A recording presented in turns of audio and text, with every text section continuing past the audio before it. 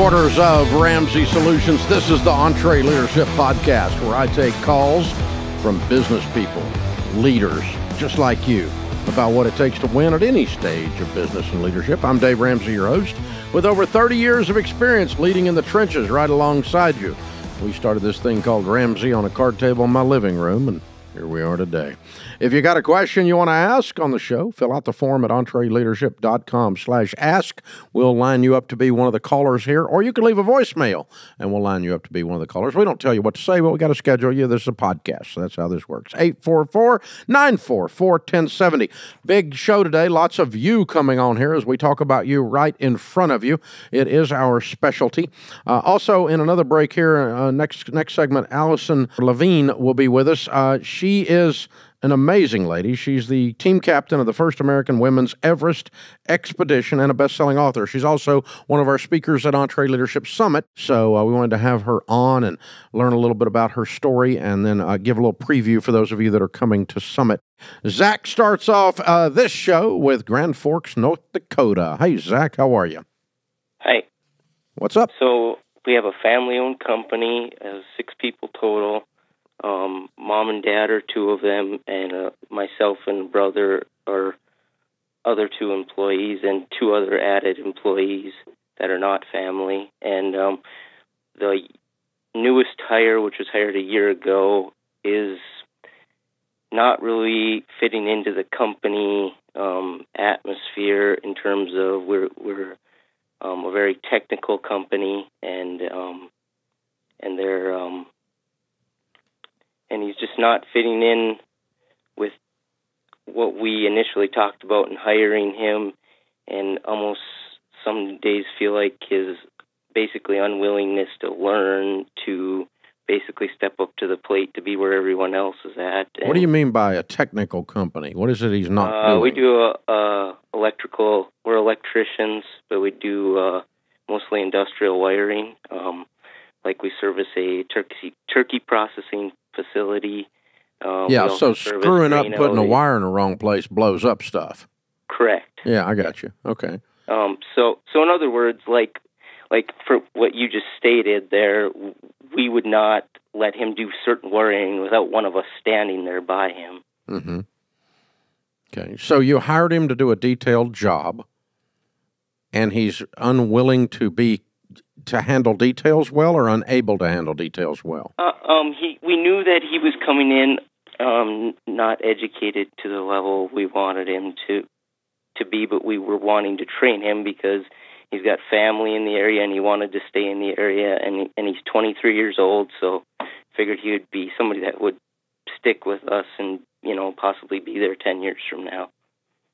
Um, so we were wanting to educate him. So that you've been training him to do wiring on a very technical level, and he's not getting it. Yeah, he's not getting it, and um, there's been times where we'll be having technical conversations during a lunch break, and the guy is totally in his own space and and doesn't even pay attention to what we're like. And those those conversations are very important conversations, um, and it's just like he's just not.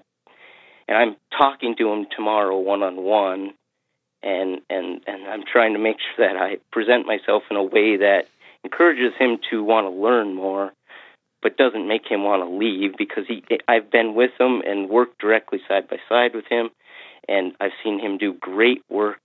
But as long as I'm with him, um, Okay, so, So- he does know how to do it. yeah, but it, it's just like you just can't leave him alone. Why? uh, and I think it's just the level of somehow we're not able to connect with him of what what our what well, I mean, you're having trouble connecting him. to me, so I'd believe it. Okay. I mean, the, the thing you told me was he didn't know how to do the work and he's not doing technical work. But then a minute ago, you just told me he is able to do the technical work, but doesn't do it when you turn your back on him. So which is it? Does he know how to do it or not? He doesn't know how to do the technical work, but if Then how come he can do it when you're standing there? Because you're telling him what to do? Yeah, because I'm very detailedly saying, you know, connect this here, connect this there, and I can, all, all, yeah, or You're, you're, or he, so he doesn't know how to do it. He's just doing what he's told. or it's No, know, I'm stop, stop, giving- stop, stop, stop, stop. Okay. You cannot delegate to someone if you can't trust their competency and their integrity. And I can't figure out which one's missing here. I think it's competency. But the way you described it a minute ago, you said he does great work when you're standing there. But then you just now said he doesn't know how to do it. He's only doing what he's told. So he's not competent. He doesn't know where to put the red wire without blowing the bomb up. Right. He doesn't understand the theory behind the work that he's doing. Yeah, and he's not and he's been working there how long? he's been helping us for a year, but there's there's there's basic stuff to do like an outlet or a light, and he does all that work because we have to do those simple things too. But that's only a fraction of the the overall company, like five to ten percent of our wiring. I can't tell what you got. I'm sorry. Um, I um, I, am I'm, I'm about ready to blame this on you. Uh, but either way, I, it sounds a little bit like you guys are super nerds, and if somebody doesn't just become a super nerd overnight, that you don't want them around. I can't tell, but I mean, you say the kids, the kids wiring stuff. He's showing up for work. When you tell him to do something, he does it, but uh, but that's not enough. You want him to be able to handle the theory at 23 years old of wiring an industrial plant, and I don't think he can do that. And I think that's an unrealistic expectation for one year in on a, an apprenticeship. So I think you guys need to decide what you expect of him in detail, since you're detail people, and outline that, and then sit down with him and say, This is exactly where I need you to be in the next six weeks. I need you to be able to do these four things. And it's not four of the wiring tasks, it's four concepts. Okay, I need you to be able to wire a board that looks like that without me looking. I need you to understand how to do that. And so, what if? How can I help you get there where you can wire that board without me looking and put the red wire in where the red wire goes without blowing the place up? I need you to be able to do that more than just wiring a duplex or a switch, which I, for God's sakes, can do that. And I have no idea what the rest of the crap is. I, I would blow the building up too. So, but I don't think you guys have, as detailed as you are, I don't think you've been detailed in your job description, your KRA, your key results area. This is what winning looks like. And you need to write it out and then have him read it back to you to where you, he clearly understands the gap between where he is now and where you exactly where he needs to be in six weeks for you to declare him winning. And if he can't get there then, then he needs to leave because he's he doesn't have the brain matter, he doesn't have the capacity to become to do the job. And sometimes that's true. There are jobs I don't have the capacity to do, and you don't need to give them to me to do because no matter how hard I worked at it, I couldn't do it. I can't dunk a basketball. Okay, I'm five foot something fat, 63. Okay, I'm not going to be if I, if the job is dunking a basketball, screw it. Go ahead and fire me now. All right. I can't, I don't have the capacity to do that. That doesn't mean I'm a loser. It means I can't do that. And so if this guy doesn't have the, uh, the, the wiring, uh, the detail wiring, no pun intended, inside his head to be able to do this detailed wiring, then you're never going to get him there. But I don't think you guys have been clear. I think you thought you could he could just come on and hang out with the family and he would just become one of us. Well, bull. This is too technical for that. You're going to have to lay out exactly in writing what you expect of him, and uh, then I think you're going to get there. Uh, and, and but not you can't just say, "Well, I don't think you are." You know, we're during lunch. You're not paying attention. What the heck? Who knows what that means? No, you got to really. You're going to have to detail this out. That that's where you're missing. You may find he's magically smart once you give him an exact path to run on. But I, I, think you guys have been pretty vague about his uh, stuff, and I think that's the problem you're getting into. So, um, you know, that, that's where I would go with that. Folks, the KRA, the key results area, is one of the things we teach you to do in EntreLeadership, And if you're an EntreLeadership elite, we'll even provide you a form to go do this with. Every single person working on your team needs a, key, a written, in writing key result area and it's like three key result areas. This is what winning looks like. This is what winning looks like. And if you do this, you're winning. By definition, if you don't do this, you're not winning. And if you have people out there working and you have no idea what it is they're after, then hey, that they have no idea what winning looks like, you just put them in the job, then it's like taking people bowling and turning out the lights. It just doesn't work. This is the EntreLeadership Podcast. Welcome to the EntreLeadership Podcast. Several years ago, I started putting some of the best thought leaders, speakers, writers on the stage on leadership and on business. Uh, most of them in those days were friends of mine. I would just say, hey guys, let's get together and help all these small business guys. And the thing has exploded. It's become a big deal. Now we've got 3,000 people coming every year. It's sold out. It's called EntreLeadership Summit and it's some of the top people in America today. And I get to meet new friends, which I'm doing today. Alison Levine is with us. She'll be one of our speakers. New York Times best-selling book On the Edge. And uh, she is absolutely amazing. Team captain of the first American women's Everest expedition. And uh, doing something like that, you get some uh, leadership tips out of it, I'm sure. Hey, Alison, welcome to the podcast. Hey, thanks. Thanks so much for having me. I'm so pleased to be here with you. Well, it's wonderful to have you. Okay, so you're a big time explorer. You've been all over the globe and uh, climbing the highest peaks and doing all these extreme things. What got you into this? So it's kind of random and bizarre how I got into it. I was born and raised in Phoenix, Arizona. And when I was a kid, I loved these stories about the early Arctic and Antarctic explorers, the early mountaineers, and I would read these books and I'd watch these documentary films because it felt like an escape from the extreme summer temperatures in Phoenix. So I just, I love stories about really cold places. But I never thought I would go to those places because I was born with some health challenges. I was born with a hole in my heart that got bigger as I got older. Uh, I had my first surgery when I was 17. That one was not successful, but I had another one when I turned 30. And at that point, this light bulb went on in my head. And I thought, okay, if I want to know what it's like to be these explorers going to these remote mountain ranges, then I should go to the mountains instead of just watching documentaries about them. If I want to know what it's like to cross 600 miles of Antarctic ice on skis, then I should go ski across Antarctica instead of reading books about it. And if these other guys can go do this stuff, why can't I do it too? And I think you, there are things in life that intrigue you, that interest you, and you can either read about them and watch films about them, or you can get out there and try them.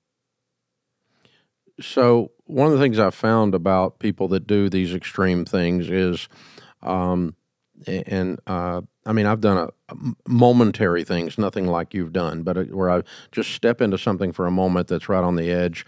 Um, you always come back kind of there's almost a philosophical thing that occurs while you're doing it.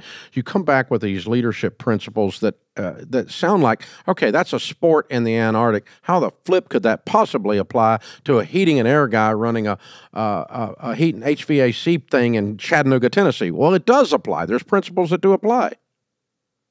Definitely. And I mean, granted, uh, the typical work environment is a lot different than Antarctica, you know, even with your air conditioning on full blast.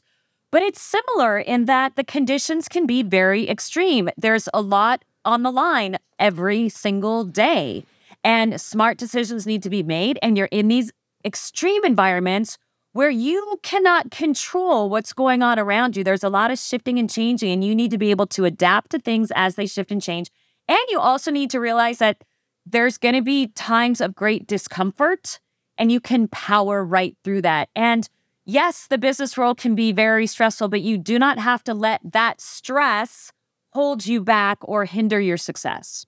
Yeah, learning to do hard things, whatever that whatever's in that bucket is so important.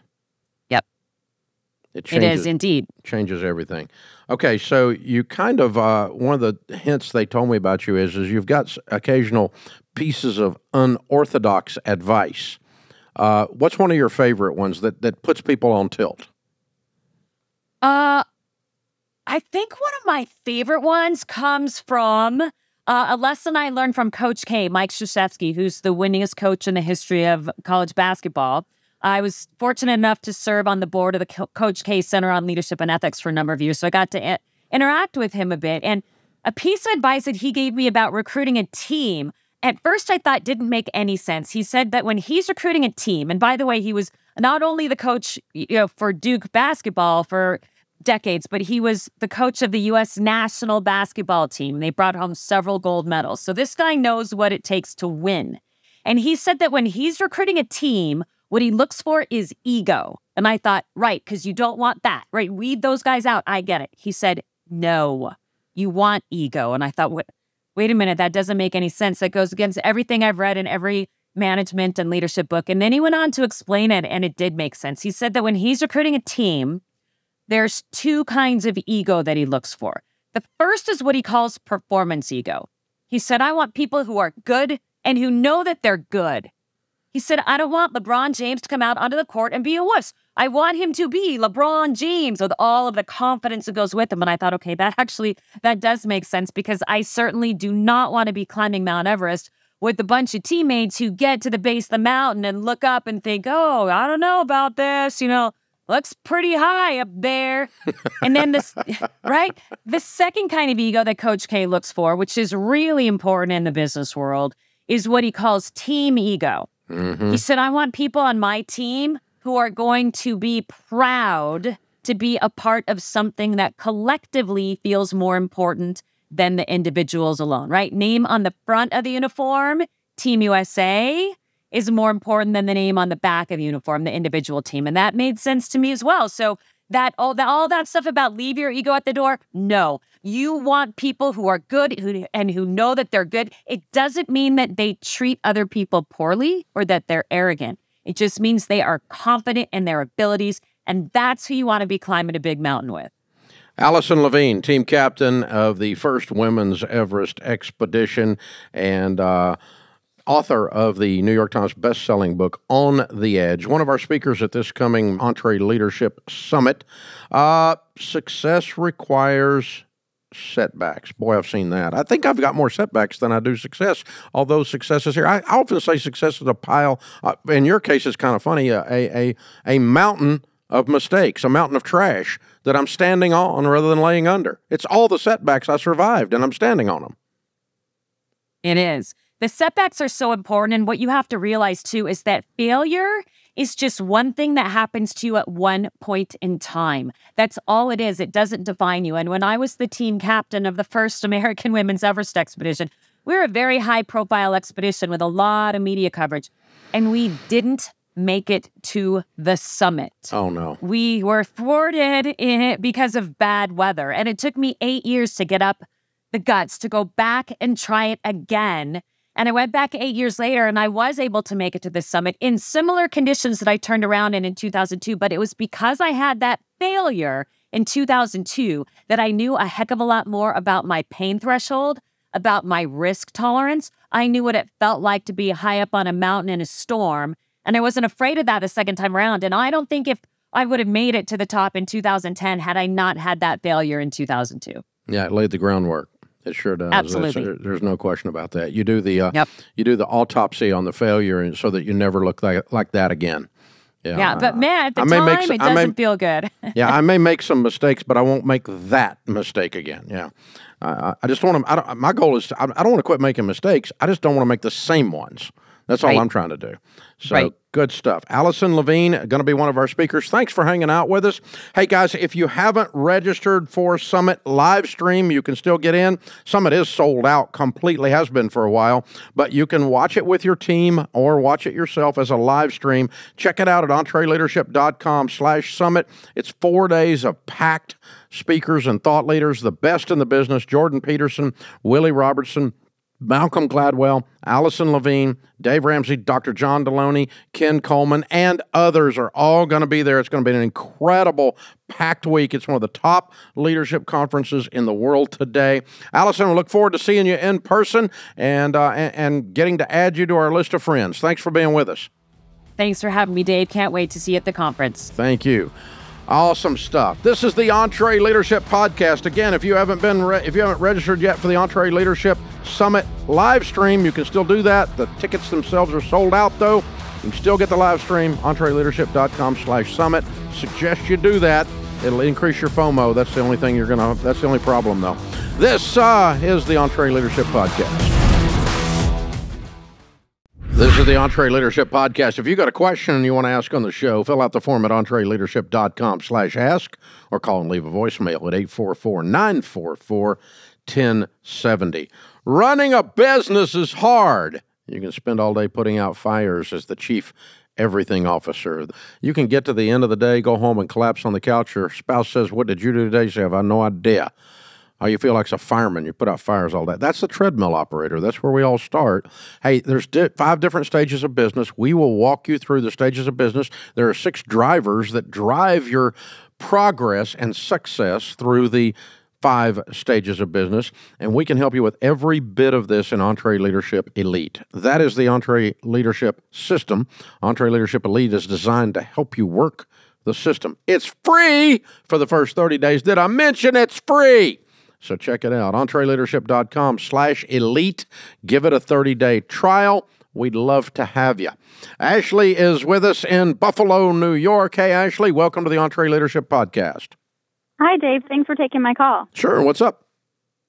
So, I'm a self employed house call dentist. I have zero employees, just one administrative contractor. I feel guilty charging my patients and making a profit in my business because I offer healthcare services. So, how can I keep growing my business without debt while still being reason- in a reasonable price range for my patients?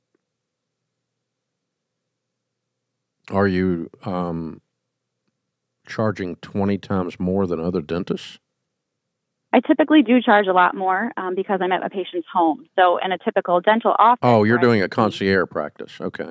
Right. You're but doing the house calls. part is I am, and it, generally I'm doing house calls for patients who cannot get to the dentist. They, their only other option would be a medical transport. In a lot of cases, they can't even get a medical transport. So I feel bad because I do charge a premium, but my patients are usually very sick or have a reason that they're homebound, and it's just it just feels icky to me sometimes. But the alternative is they don't have the service. I'm the only one in my region that offers this Right. and I have to. I do have student loan debt, like most dentists, so I'm trying to a make lot. a living doing that. Yeah. What what Yeah. what uh what is the uh, uh, wealth demographic of the people you're calling on? I get that they're homebound and they're ill, but Mhm. uh, are, are they uh, wealthy, poor, or what's the mix? So I am busy right now. Um, my schedule is pretty full, and I am seeing a lot of patients who are affluent, and it's, this is nothing to them. They're very happy to have me come over, and they're grateful for the service. They see the value. But then I also have um, a lot of patients that I know are stretching to reach um, to pay me, which is fine. Like they're happy to do it, but it's definitely a stretch for them. The demographic in my region, um, I would say, is definitely middle class or um, Buffalo, New York is it's not a super affluent city. No, I'm Um, just so I I'm just saying are- I, there are I'm not talking about your city. I'm talking about your patient mix. Okay, Yeah, so you're saying You're saying the vast majority of your patients are upper middle class to wealthy. There are a few that are having trouble that, that it's right on the line, and then there's a few of them, a handful here or there that are just sad cases, and you just want to help them. And then, right, and there are many more I wish that I could see. You know, they call and they hear our fee schedule, and then they immediately just they hang up because they know that they won't be able to. So I struggle because I would love to reach everyone. Um, there are so many people who need the service, and I'm like I said, there's not many dentists that are offering this at all. So I would love to be able to reach everybody um, and grow my practice, but I just want to be able to make a living doing so too. Yeah, yeah.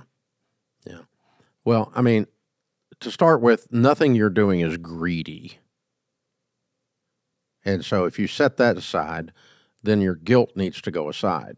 All we're trying to do here is how to make a living, a reasonable return on my time, giving the investment that I've made into this career, hundreds of thousands of dollars you've spent and are in debt to get this to get the to get here. You simply are not independently wealthy that you can give away your services. You don't have a choice hmm economically. You don't have the choice to work for free, regardless how guilty you are, or if it was immoral. It's not immoral, by the way, not even close. So, um, you know, if if you just said, "I don't work with anybody but wealthy people," there's nothing wrong with that. That's your target market.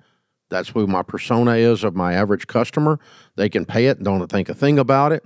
Matter of fact, they could pay a little more, and uh, that's what I do.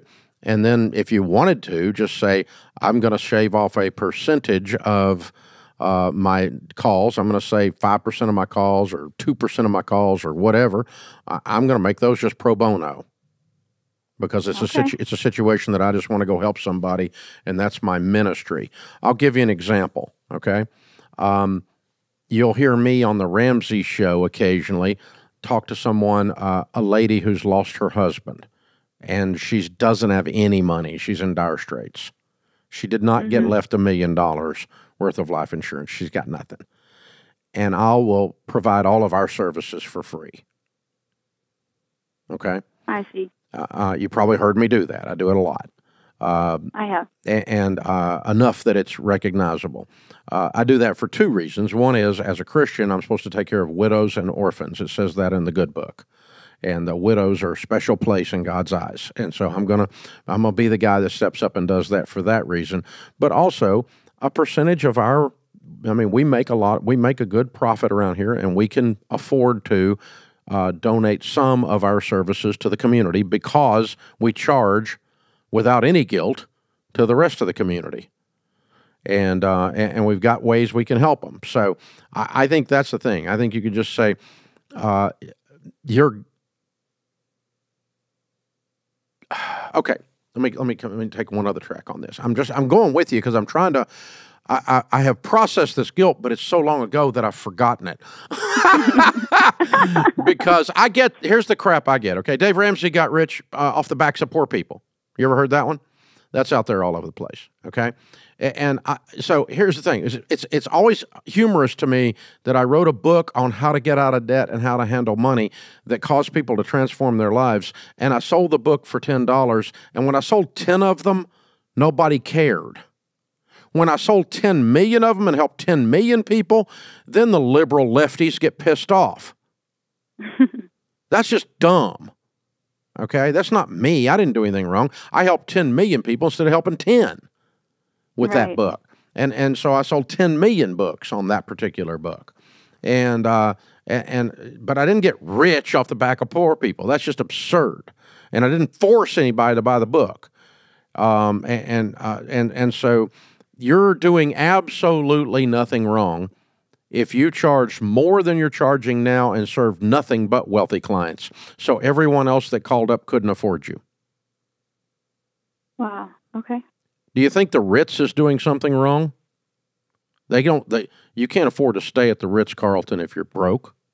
You have to stay at Right. the Hampton freaking Inn. I know. I think my thing is because it's a healthcare service. So if I were selling luxury clothing, Hey, that's housing. Yeah, yeah, and water and right. I guess. Yeah, you're going to be on the mm. street if you don't have a hotel room. But Right. I mean, listen, nobody's mad at the Ritz except communists that, that want to stay there for free, right?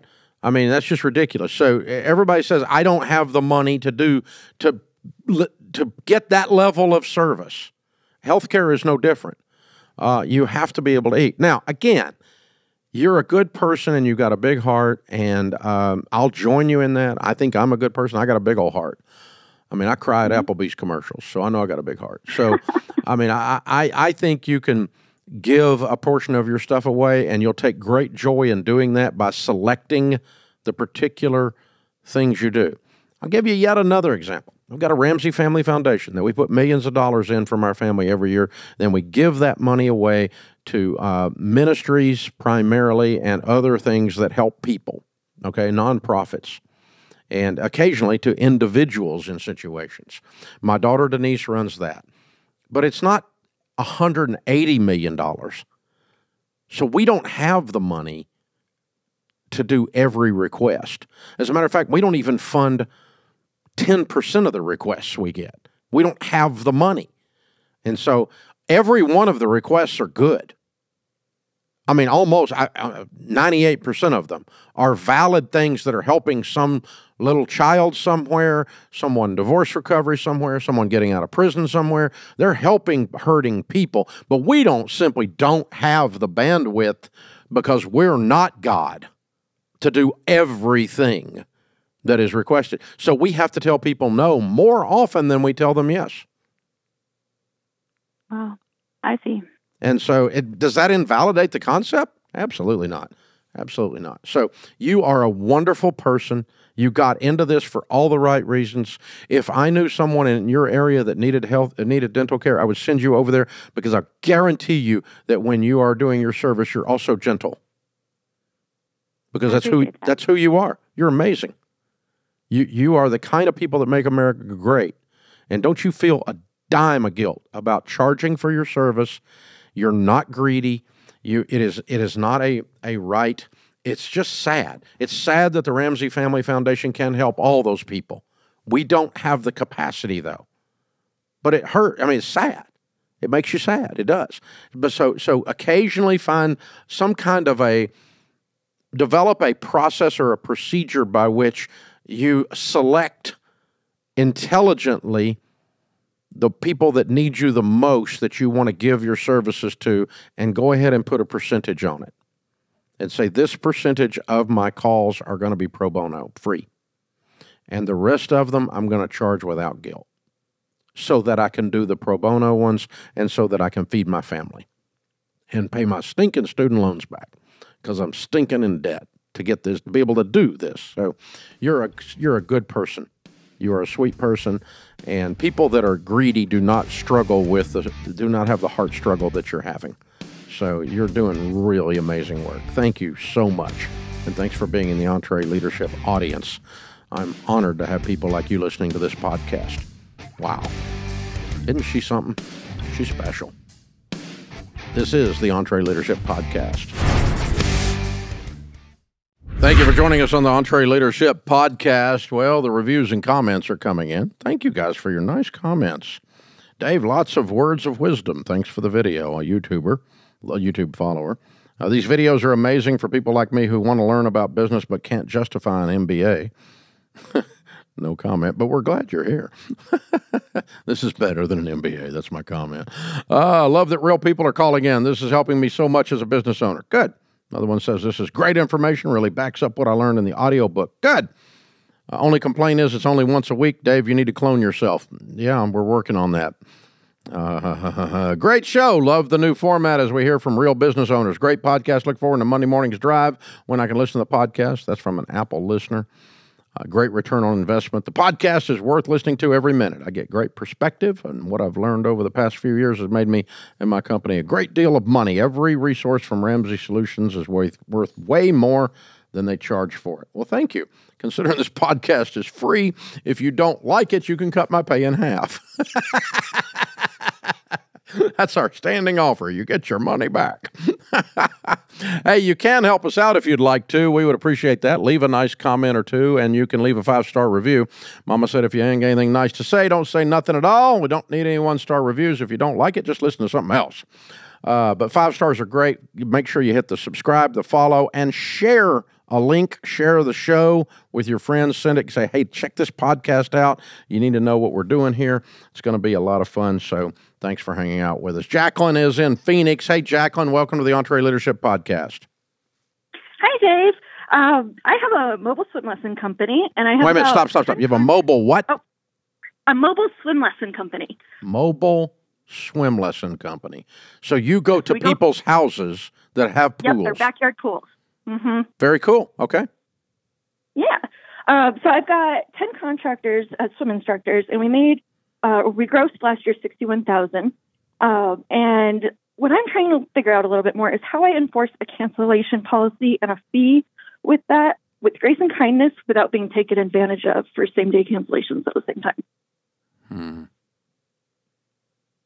Is it more emotional that it happens and it's just a pain, or is it actually starting to be large enough that it's a serious financial problem? It's as I'm expanding, it's getting to be a bigger problem. So it was probably about ten percent of my revenue last year. Ooh, that's not okay.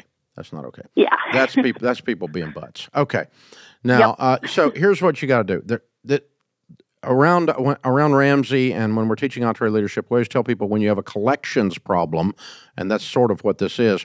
What you have is not a collections problem. You don't have a cancellation problem. Uh, you have a marketing and uh, communications problem with your customer. So when they sign up, you need to tell them on the front end what your policy is, and then there's lots of grace Okay. We do that right now. Okay. Mhm. What do you tell them your policy is? So our policy is you have to give us 24 hours notice, and there's no fee if you do that. But if you give us less than 24 hours notice, then we will charge you. Okay. How many of them are less than? we- Tw- are you are you asking me about what happens if they're less than twenty four or more than twenty four? Yeah, so we, we get people, and I've noticed that some folks, they don't care. They'll just cancel anyway, and they're fine with that. And they don't complain. But then we have the other half of them that are pretty squeaky and are upset if we tell them that we're going to enforce that policy. Oh, wait, wait a minute, wait a minute, wait a minute. But we told you up front. Why would you squeak? Yep. Uh, yeah. I mean, this is the deal. If you if you cancel, now you know on an extreme situation. I mean, your your mother died and you're leaving town to go to her funeral. Oh, sure, I, I can do that. Okay, right? Mhm. But your your you know your child burped and they de- and you decide you're going to helicopter in and they don't want to burp in the pool. Nah, nah. And that's what this is. This is people being inconsiderate to you. The squeaky ones need to Uh-huh. leave as customers. Okay. You need to say it's not. It's not. There's nothing grace and ungraceful. You told them up front if you cancel within 24 hours. And here's all you got to say: We're small business people. All of these contractors depend on this income. I have to take care of my folks that do the lessons. Little little uh, you know uh, Tiffany that comes to your house and teaches your kids. She depends on this money. And, and when you just cancel, I have to take care of Tiffany anyway. So I can't do this. I'm I'm so sorry. But yeah, you're going to be charged. And if you don't want to go with us anymore, that's okay too. But that's what it is. No, that's not ungraceful. They're the ones that are ungraceful. I would have zero. If they want to leave, I'd have zero problem with them leaving. If they squawk, if they squawk, what I would say to them is, you know what? This might not be working for all of us. So the way my program works, we sell package deals. Yeah. They get a discount for committing to more lessons. Mhm. At that point, are we looking at refunding them? Do you think, or like, how, how do we handle that side? of You know, well, I, I could, you could just say, listen, it, it, we told you up front this is what this is. This is not, you know, I have to take care of these contractors. They're they're, they're on. I, they, they depend on these for for food. They depend on these for their income, and I have to take care of them. And so we do enforce this cancellation policy. I'm so sorry if that's a problem. If that is a real problem for you, when this uh, con- when our package is done, you don't have to renew. It's okay. Sounds good. and just just let them here's the weird thing if you stand up like that and threaten to not help them anymore they're suddenly going to turn back nice as they can be because nobody stands up to these people they just bitch and whine and moan about everything everywhere they go because people give them free stuff That makes sense. Yeah. and it's because okay and by the way if you back- run off one of those occasionally it's good for your soul so well, the way we say it around here is uh, 2% of the public is crazy and should be institutionalized and so when you run when you, when you run into a two percenter, it's a good idea to fire them as a customer, and even better, give them your competitor's business card and send the crazy ones to your competitor. I'm I'm being a little bit bombastic, but um, because you're you're such a nice person that this whole thing is bothering you way too much. It is. Yep. Yeah, it's like a personal thing because you come to their homes generally with their children, and you're a kind person who loves what you do. You're passionate about swimming, and you're in someone's home, which is a very personal experience. It's not a cold experience at the YMCA or something, right? And uh, and all of this, the relationship gets tied up into this. So when they raise up and bitch about this, it it it hurts your feelings at a, at a at, at a pretty heavy level. Am I wrong? That's absolutely accurate. Yeah. So uh, uh, I think the more you enforce this, and the more you clients you release that are unreasonable clients and high maintenance clients, uh, the the better you're going to get at this. And it won't become it won't be that you're calloused or that you become cynical. It's that you become more realistic about some people just can't be happy. There's another thing in business that we run into, and this kind of falls in that category. I'll throw out that because you're just you're wonderful. Um, but yeah, you need to just you need to say, listen, we agreed to this on the front end. I have to take care of these contractors. I'm sorry, unless it's some kind of big family emergency, we don't do refunds. And if that's a problem for you at the end of the package, we'll, we just won't renew. We understand. And let them go. I wouldn't give them their money back for the package. And they may go, just don't come anymore and keep the money. Okay, that's fine. I'll do that. I'll be happy to keep your money. And um, now, the, the other part, the other type of person or situation that falls in this bucket for the rest of the, our listeners out there is – when we're getting started and you're kind of at the second tier, you're kind of, uh, you, you've gone from treadmill to Pathfinder, you've gotten your business up and running where you're not having to personally create all the income. You've got these contractors that are out there doing the income with you, and you know you're you're servicing a lot of people. So you've hit that next stage of business, and what has to happen is you have to have a when you're in that early stage of business every piece of business is precious because it's the only way you stay open. You understand? Does that does that sound familiar? Yep. There's a little bit of desperation in the early stages. Like i have to make everybody happy or i'm going to go broke because i need every one of these dimes. And that's normal. That's a good thing when you're first starting. You've gone to another level with your business but not with your emotions. And you're still emotionally uh, the it's not it's overstating, but you're emotionally desperate to make everybody happy, and you're not at that stage of business anymore where you can make everybody happy. Because one thing's for sure: when you scale, you're going to find crazy. The more you scale, the more crazy you're going to find. Whether it's hiring your team, I mean, I got 1,100 people. I got 1,100 opportunities in this building for people to be pissed off at each other. The the drama has scaled versus when I had 11 people you know? And we don't have much of that, thank God, but we work really hard at it. Uh, so, anyway, the, the thing that goes in this bucket is now you're at the stage of business where you're not desperate for every client anymore, and you need to start thinking about business. There is uh, a percentage of customers that the juice is not worth the squeeze. They cost you more in emotional bandwidth and in trouble and in maintenance. They're high maintenance people. They're not worth what they pay. And your, your life is better and your business runs more efficiently when you cut those two percenters loose. And I'm not saying you need to wholesale go in and fire everybody that objects to this. That's not what I'm saying. But you your next stage of business for you as the owner is to get comfortable with I don't need all of these people. As a matter of fact, it's really healthy for me to not have these ones that are a lot of trouble. They're too much trouble. They're more trouble than they're worth. All of those phrases we say out there in the real world.